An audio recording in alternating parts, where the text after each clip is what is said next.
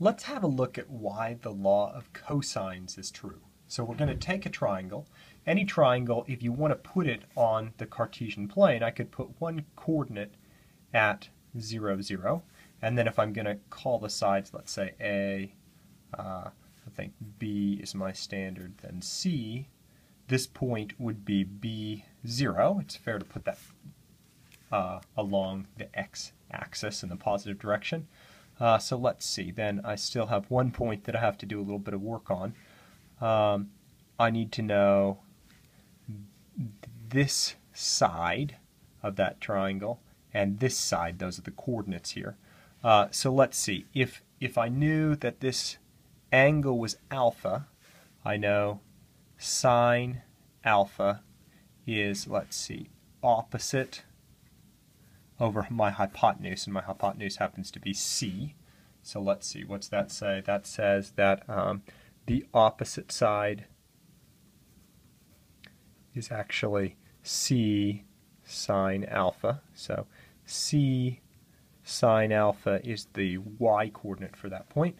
Uh, similarly, I could say uh, cosine alpha is going to be the adjacent side over c. So the adjacent side would be c cosine alpha.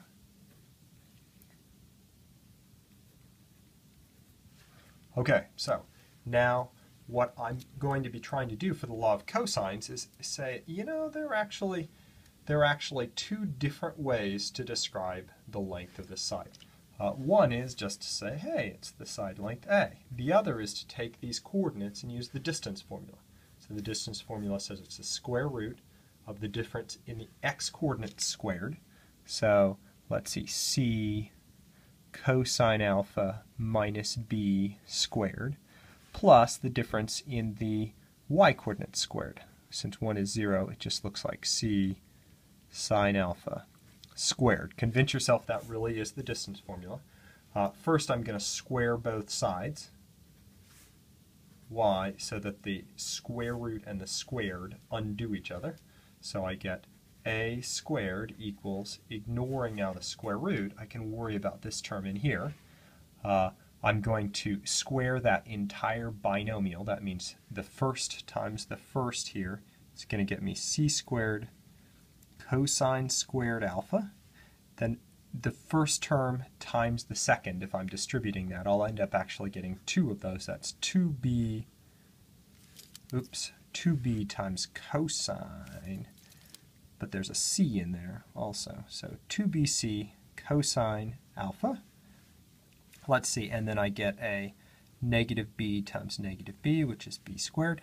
Now the second piece gives me 2c squared sine squared alpha. Now that might strike you as a whole lot of mess, but the point is, let's see, uh, I have an a squared, I have a b squared, I have two terms here that have c squareds in them. So let me pull the c squared out.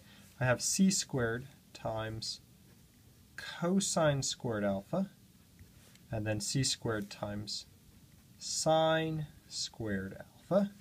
Then what's left? 2bc cosine alpha subtracted.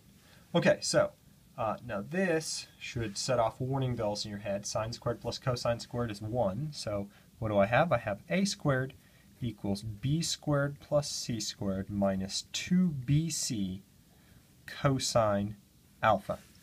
That is the law of sines. Sorry, the law of cosines. Okay, uh, that's how, without knowing A, just by knowing C, B, and the angle alpha, we can get to A. Now there are actually three different forms of that. This is the form that we just created.